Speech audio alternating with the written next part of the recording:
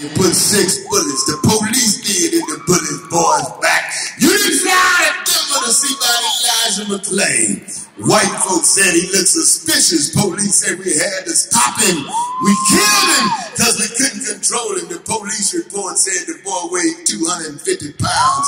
But the autopsy said the boy was mentally handicapped and weighed 135 motherfucking pounds.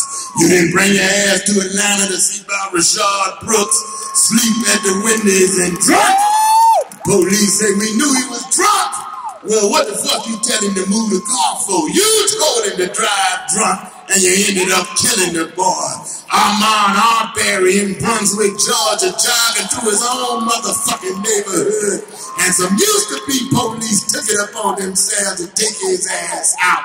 You didn't fly!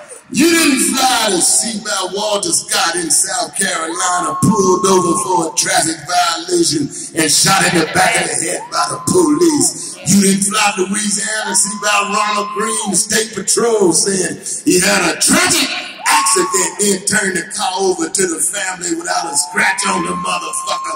You didn't fly to Texas to see about Sandra Bland. The sister pulled over missing the tail light and ended up dead. Kentucky to see about Breonna Taylor. Sleep in her bed and the police busted in and put eight bullets in the woman's chest. You didn't fly to Dallas, Texas to see about Botham Jean.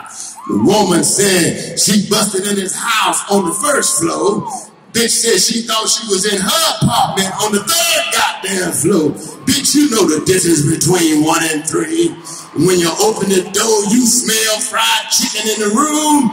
You knew your ass didn't live in that goddamn apartment.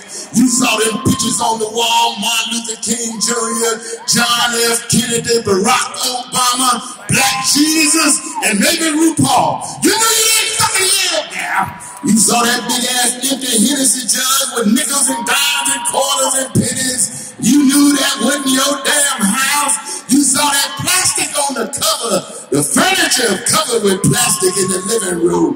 White folk don't cover their furniture with plastic. And you shot the man anyway. You didn't fly to see about Daunte Wright in Minnesota. Jacob Blake in Wisconsin.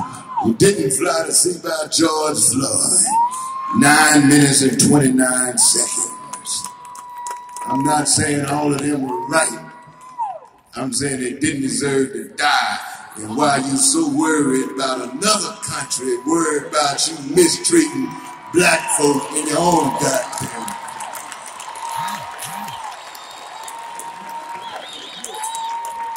I'm not saying all of them were right, but they didn't deserve to die. George Floyd went to the little store. George Floyd ordered a chicken sandwich and some cigarettes.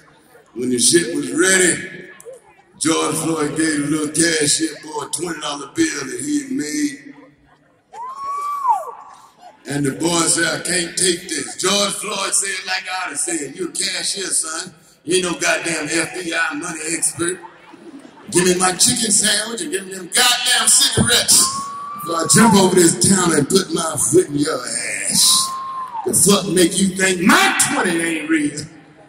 And the boy said, because he got Harry Tubman picture all over this motherfucker, I'm calling the police.